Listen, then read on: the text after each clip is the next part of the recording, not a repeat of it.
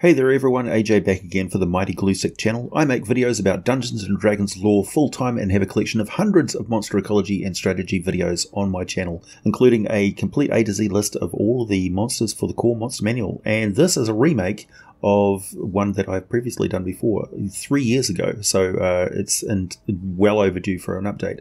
If you like what I do, please consider subscribing as I upload at least twice a week.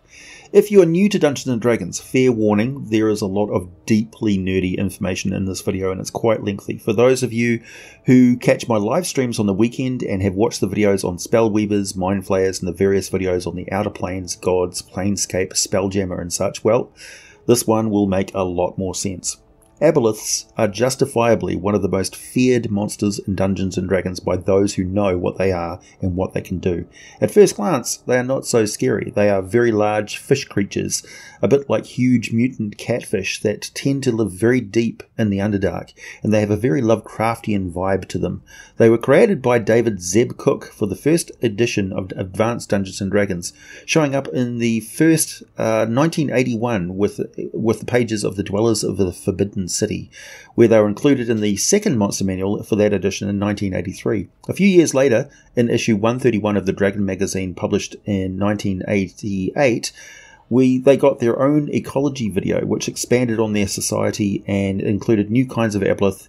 And in Dun- Dungeon Magazine number 12 that same year, we saw the arrival of the saltwater aboleth.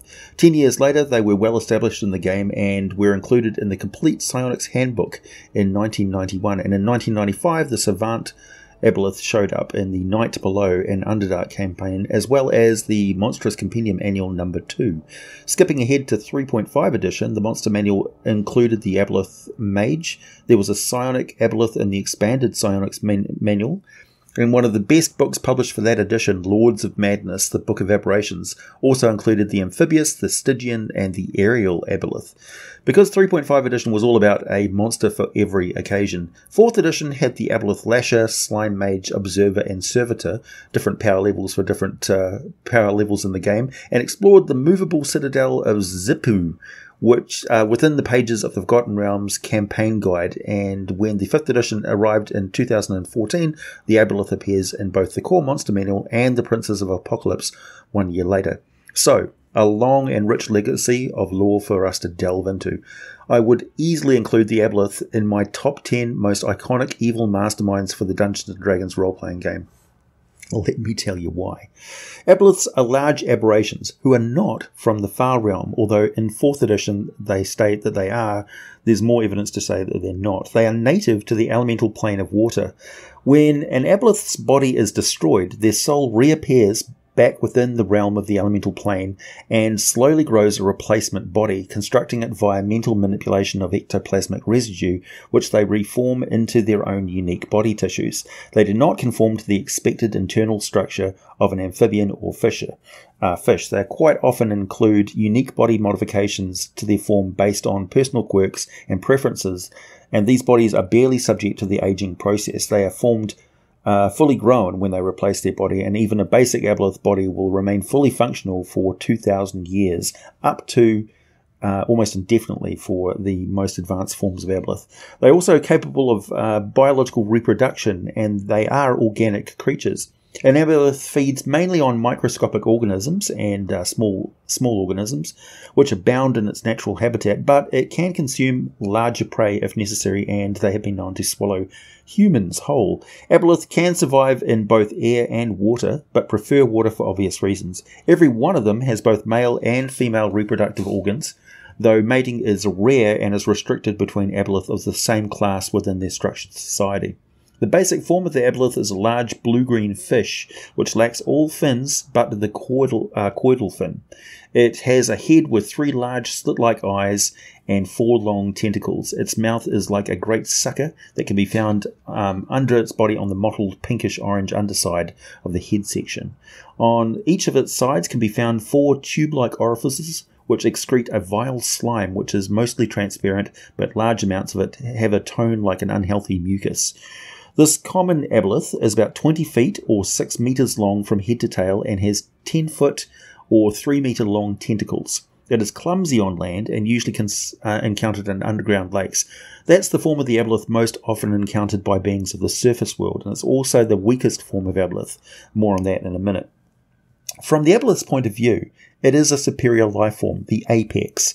They may play around and experiment with other forms of life, but there is no need, uh, no great need to improve themselves. They are already perfect. They also uh, retain all of their memory, and much like mind flayers, they retain the memories of creatures they consume. Although it's never comforting to be informed of that by an aboleth that is currently eating you alive. Sure, your memories live on forever, but that's hardly the same as carrying on living. Aboleth have the perspective of an immortal and alien creature of dizzying intelligence, with almost no empathy whatsoever for creatures that are not also immortal, which to them are simply insects tools, and playthings. Added to this is that they don't see any creatures who evolved after them as being entirely valid, because the actions of the gods. Are, they are enemies of the gods and everything that the gods have done to the multiverse.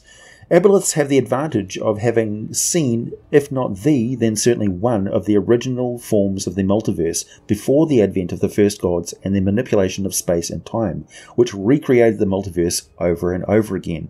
Of course, this makes the mind of any aboleth an extremely dangerous thing to make contact with, and since basically all aboleth have potent psychic abilities, they are exceedingly dangerous to be anywhere within range of their telepathic abilities.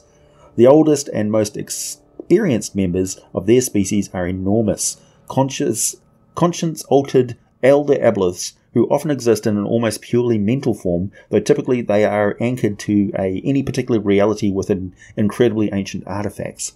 Artifacts normally means magic items in Dungeons and Dragons terminology, but in the case of the Aboleth, this is not the case, as Aboleth typically do not use magic of any sort um, and don't make use of magic items. They either destroy them or lock them away in vaults as obje- objects of curiosity worthy of further study. Aboleth are psionic and just the worst kind of evil mad scientists you can imagine. I'll be talking more about their technological power in a few minutes. Aboleth have a similar understanding of the D&D multiverse that you or I do has as players of the game, which means that they are one of the most intelligent races on whatever world they inhabit, and they are found on more worlds and more dimensions than most other species because they've been around for so long and developed the ability to explore transdimensionally so early compared to other transdimensional races, races who came along after them. Wherever you go, chances are they have already been. Aboleth recall different multiverses and the various changes caused by the actions of time traveling species such as the Illithids, the powers who alter reality on a fairly regular basis, such as the greater gods and primordial beings, and also the activities of species who have lost their original reality and now find themselves at odds with the current state of the multiverse. Some, like the Lachey, merely adapt to the new situation and carry on in the shadows, their legacy a private memory they rarely share. Others, like the Spellweavers and the Quam, actively work at odds with the current reality and will stuff at nothing, nothing as to, as they see it, restore the universe to their view of the natural order of things. But the Aboleth are intelligent enough to know that there is no reset switch. There is an infinite, uh, instead, an infinite variety, an array of different parallel dimensions and their many versions of inner and outer planes of existence that they can adapt to, explore, and dominate. Those places that would prove too dangerous for them to completely control, they simply establish a secure and secluded series of locations in which to concentrate their power sufficiently to repel any potential threats with overwhelming force while they study and gather knowledge as best as they can. So let's take a little tour. In this case, it is so deep down in the lower Underdark that even the Drow would consider it to be quite far down the ancient frontier, the land of massive caverns and huge ocean sized freshwater lakes, which have been largely undisturbed for hundreds of thousands of years. Down this far, it is a steaming tropical environment. The air is almost toxic with volcanic fumes, dank humidity. This is close to the ancient lakes. The air smells like the aboleth themselves smell, which is a lot like rancid grease. Having encountered an aboleth once before, a specimen kept in the very secure vaults of Candlekeep, you know that they are large aquatic creatures that weigh in excess of 6,500 pounds at least. There may have been some degradation of that sample. Approaching the shore of the lake, which froths with a slick and fizzing foam of decaying clumps of pink and red algae, webbed with strands of fungus mycelia, itself crawling with insects and grubs, all pale and bloated, some faintly glowing.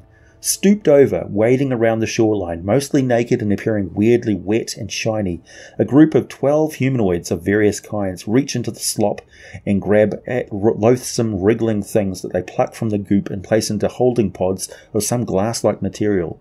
They are being bitten by these creatures and seem something seems very wrong with their skin, as if it's been turned to some sort of semi-transparent jelly kept constantly wet by this organic looking thing climbing up their back with a pulsating tube dangling down into the murky water. Pores along the web of tubes dug into their flesh and their shoulders and chest keep a steady trickle of lake water running over their bodies, and they repeatedly belch up water that pours like slime out of their mouths, overflowing from lungs poorly suited to breathing water. They are clearly in pain, exhausted, but from the vacant gaze of their milky white eyes, there is no pain, only the twisted expression of constant horror from the powerful and alien mind that is dominating their every thought. Rising up behind them, some distance from the shore and keeping its three black and glistening eyes fixed on them, is the massive bulk of a much larger aboleth. This one is at least 30 feet long and has two attending slaves which appear to have once been much larger humanoids, though the species is unrecognizable. So perhaps these ones were purpose bred they are clad in the same glass like material with strange patterns of gleaming material inside it. They have looked what looks like short spears with oddly thick shafts and a blade pointed with some sort of a blunt crystal instead of a sharp tip. And there is a fleshy cord that runs from the spear to the bulging compartment back, built in the back of their uh, armor's breastplate, right over the shoulders. The two guards twitch and turn in your direction, somehow detecting your presence, even though you are enchanted with an invisibility spell. They raise their spears, pointing them in your direction, and suddenly the air is split, and the whole area lights up as beams of radiant, radiant energy fire out at them, at you. The searing heat instantly blistering your flesh as you dive for cover behind an ancient and fungus-covered stalagmite crawling with weird and unfamiliar insects and crustaceans of this alien environment. This is as close as you could hope to get without guaranteeing that you will be captured and enslaved by the aboleth, as they are the absolute masters of this, their domain.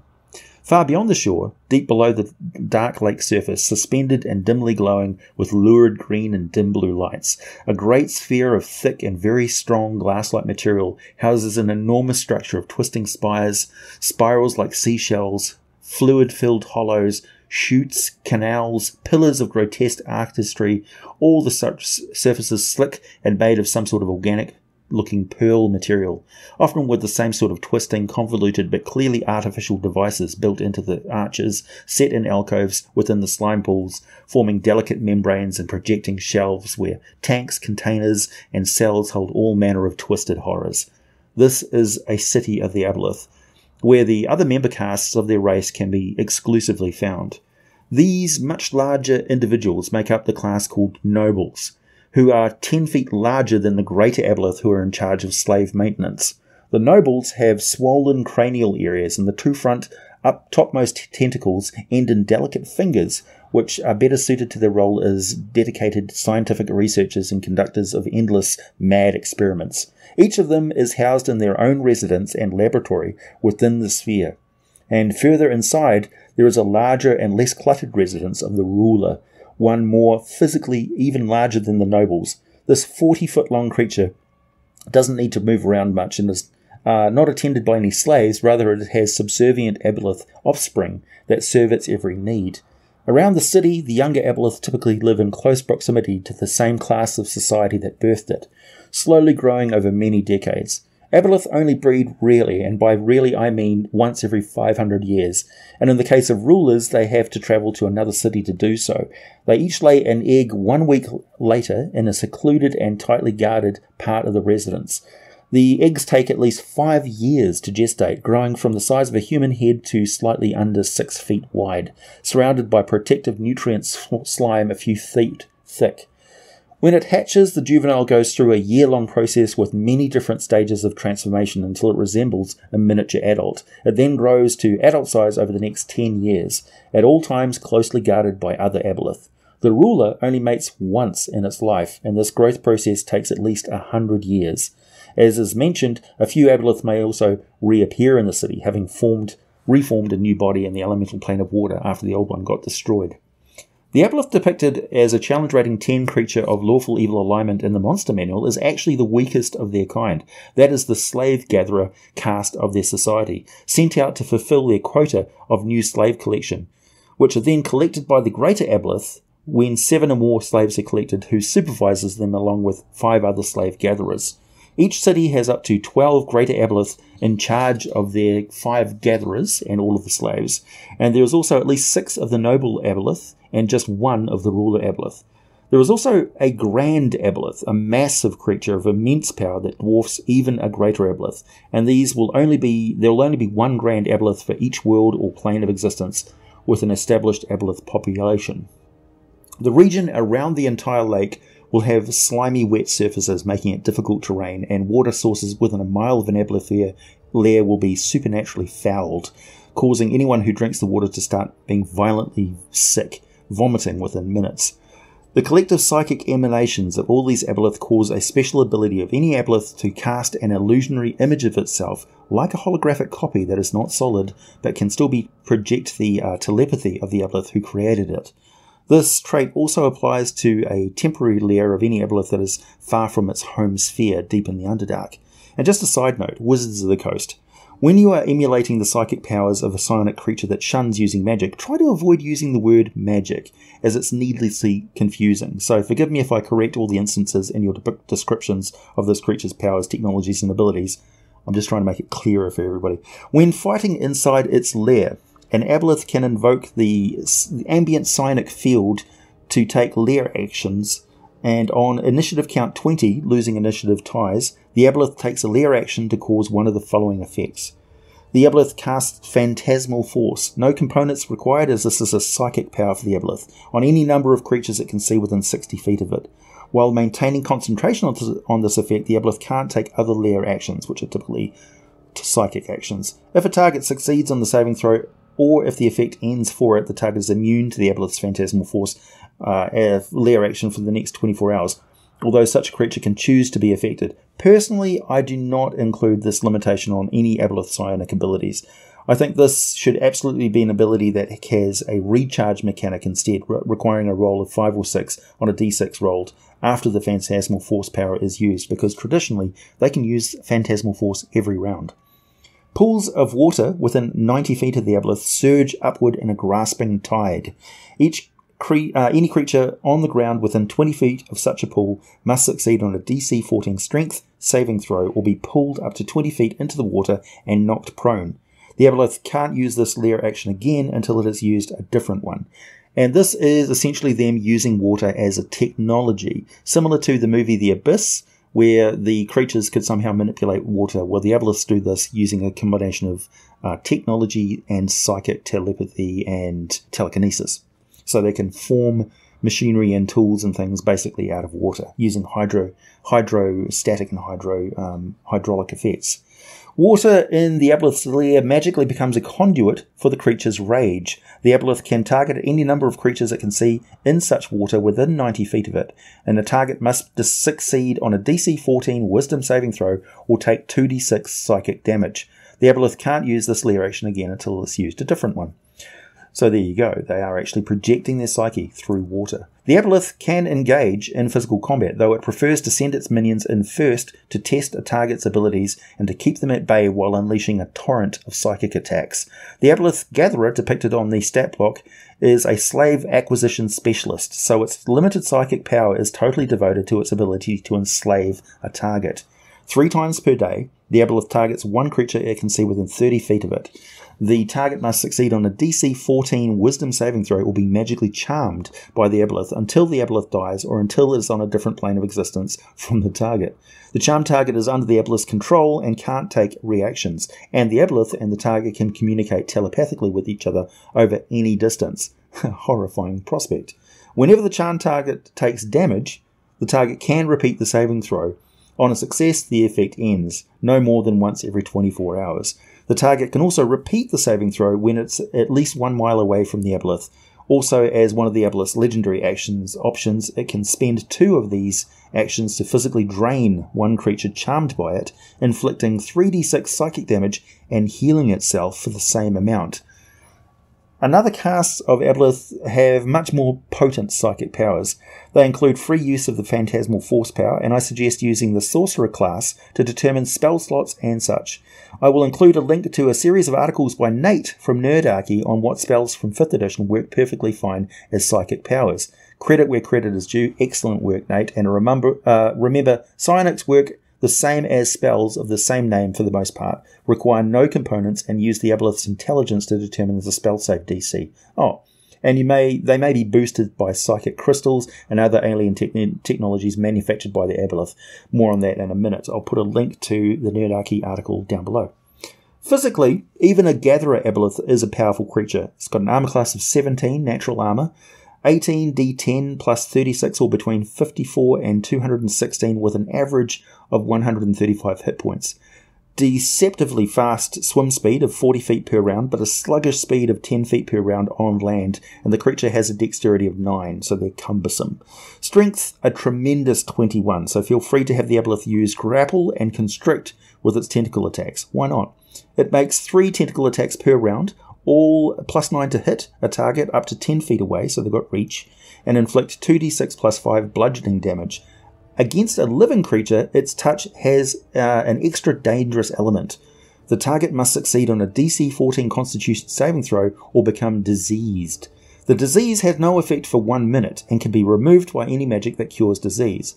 After that one minute, the diseased creature's skin becomes translucent and slimy. The creature can't regain hit points unless it is underwater, and the disease can only be removed uh, by it can be removed only by a heal or another disease curing spell of sixth level or higher. When the creature is outside a body of water, it takes 1d12 acid damage every 10 minutes, unless moisture is applied to the skin before the 10 minutes has passed. The Aboleth's uh, Tail Strike is the same except it inflicts 3d6 plus 5 bludgeoning damage and will not subject the creature to the skin disease, only the tentacles will. Two other traits are the mucus cloud and the aboleth's telepathy. While underwater, the aboleth is surrounded by a transformative mucus. A creature that touches the aboleth or that hits it with a melee attack while within 5 feet of it uh, must make a DC 14 Constitution saving throw as they're splashed or contacted by this stuff. On a failure, the creature is diseased for 1d4 hours. The diseased creature can only breathe underwater. Uh, so they, they can't breathe above water, only below water. If a creature communicates telepathically with the aboleth, the aboleth learns the creature's greatest desires if the aboleth can see the creature. So they, they delve into your mind even as you're contacting them. Constitution is 15, which is pretty robust, but the mental attributes of the Aboleth are very impressive an intelligence and charisma of 18 and a wisdom of 15. that's just on a basic Aboleth. So a very logical, cold, and calculating intelligence, and it only gets more intelligent from there with the different castes. When not pitting them uh, slaves against each other in senseless gladiatorial games of abject cruelty just for their amusement, the Aboleth busy themselves with two main pastimes, which are scientific invention and a long period of time where they slip into a waking dream of reverie, spending time delving deeply into their distant memories, often memory which has been passed down to them from their parent. This form of racial memory is incredibly important to the Aboleth mentality and the functioning of their society, which exists in a way that is totally weird to creatures that do not persist in both spirit form and as shared experiences across family, family lineages. It is typical that a young Aboleth is not uh, untrained or unfamiliar with any particular task. It merely has this feeling that it's very rusty and it just needs a matter of practice to restore their ability to full mastery. So, to an observer, the intelligence of the aboleth just seems phenomenal, as you can hand a complex task to a juvenile aboleth, and within a very short time they will be masters of that task, as though they've been doing it for centuries, which, in effect, they have. Now, of particular interest to me is the subject of aboleth technology and their shunning of magic, which is a trait that they seem to share with illithids, but for entirely different reasons. Aboleth are master psychic powerhouses. They're also inventors and manufacturers of technology that boosts their psychic strength and also emulates magic items. It's actually more a matter of fluff than crunch, which is D&D jargon for story or descriptive text rather than game mechanics or rules text. A magic uh, wand that shoots magic missiles has and has a set number of charges exactly like a high technology energy weapon. There is also a range of high tech weapons listed in the Dungeons Master's Guide, ready made for you. One particular line of text in the lore from an old Dragon magazine ecology article really set my mind ablaze though, and it was this I'll paraphrase. Noble Aboleth use their ability to probability travel, which is the psychic power to, tr- to physically travel to the astral flame, plane and from there travel to other planes and planets. They can also take along other beings that are in physical contact with them, uh, as well as many strange drugs and devices to, tra- to travel to alternate prime material planes. There they amass as much knowledge as possible while enslaving any who oppose them, every so often mounting a full raid of several nobles and their attending lesser slaver castes, both the common and greater Aboleth, into particularly promising worlds, but it is a rare occurrence. Oh, the plot hooks contained in that strange drugs that can cause uh, what seems like intense hallucinations, but are actually visions of alternate dimensions occupying the same physical space, so you're staring into the Feywild. Drugs that drastically amplify thoughts, causing unintentional telepathic broadcasts by non psychic creatures, and have a good chance of driving them temporarily insane. Drugs that are essentially liquefied instructional knowledge of complex interplanar mechanics, causing the poor player character to go racing around screaming their understanding of the multiverse and desperately scribbling down a babbling nonsense of strange symbols that they will cease to understand the moment the effect wears off. This is a perfect opportunity to introduce an actual Stargate into your D&D multiverse, with the Aboleth essentially being the ancients who created automated sentient spelljamming vessels that seeded the spheres with the Stargate rings, and the Illithids are basically the Goa'uld system lords. I mean, what if the Illithids could delay the full conversion of a host into a mind flayer and instead operate as the mind controlling brain parasites indefinitely? I bet that got your mental gears spinning. The Aboleth could have a device similar to one of the Masters of the Universe movie, where Gwildor, the Thenorian uh, locksmith, invented a cosmic key that could open a portal to anywhere by utilizing sound keys. The possibilities are fairly endless, really. Portraying just how intelligent the Aboleth are is as easy as this. They know what you know, the Dungeon Master and Watcher of all, the, of all these lore videos about the D&D multiverse, what you know. The average character in your D&D game doesn't know any of this stuff. You can count on two hands how many living archmages know all this stuff. The most powerful celestials and gods, primordials, they know this stuff. But it's really an overgod level of information that we, as players of the game, are privy to. It is an extra dimensional understanding beyond the veil of the fourth wall. Aboleth are so damn smart they can travel to very similar alternate realities where the creation of the universe occurred earlier or later, but has otherwise remained extremely similar. So they get to time travel without any chance of messing up their own reality, without any paradox, and just move back to their own reality to take actions that have the highest probability of turning out exactly as they predicted. It's like they can flip through the pages of a choose your own adventure book or establish save points in a network of variant realities mind bending stuff, and even more amazing that you understood exactly what I'm talking about. Well done. I think you're ready to do these horrible creatures justice. Don't forget, they love to conduct cruel and outlandish experiments. They build technological wonders that mimic the powers of magical items and artifacts. They travel the planes of existence and move between the different world settings for Dungeons and Dragons. They share memories and effectively reincarnate when they're destroyed. And the Aboleth listed in the Monster Manual is actually the weakest version of their kind. They also know things about the former states of the universe before the gods went around scrapping each other and powerful primordials all over space and time, recklessly disrupting things so badly that whole civilizations, species, and worlds were just retconned and stranded in suddenly different realities that no longer resembled what those beings remembered. This uh, and this not only did happen many times, it's still happening because the warfare is taking a place across time as well as space. So yeah, the Aboleth really detest the gods and they shun magic because a lot of it is a byproduct of that temporal and spatial disruption, with effects in the astral and ethereal planes creating flows of energy and destabilized reality that do not and should not exist. The irony is they have a much better understanding of the true mysteries of magic, but will never instruct any others what those secrets are because they would rather magic not exist at all. So it's highly likely that noble Aboleth make use of anti-magic devices with effects similar to those of a central eye of a beholder. Easily one of the most gnarly monsters in the game, no question. And even with half an hour of explaining it to you, I feel like I've just scratched the surface.